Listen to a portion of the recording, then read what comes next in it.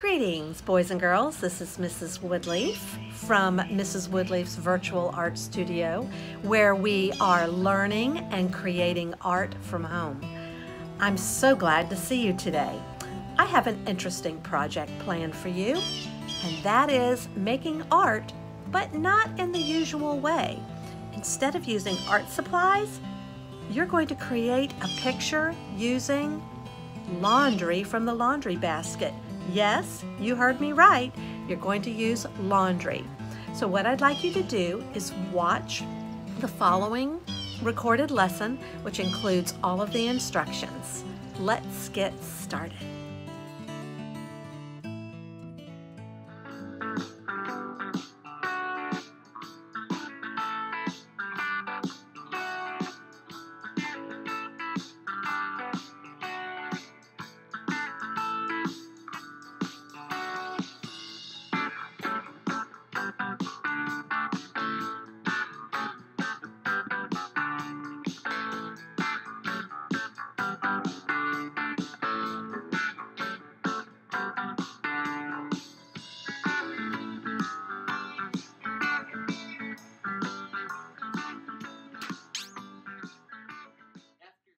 So here are some good examples by students just like you. This is a zebra drinking water. This is a boy in a sailboat. This is a flower. And this is a dog. Now it's your turn.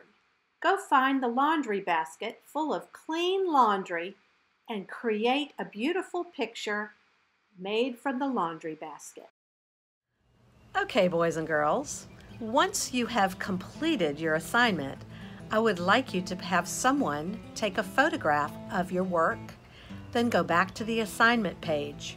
If you look at the bottom, you'll see a place where it reads Add Work. If you click on that, it will give you the opportunity to upload your photograph that you just took. After that's done, you go up to the top of that assignment page and there should be a button where you will submit the assignment. I can't wait to see what you've come up with.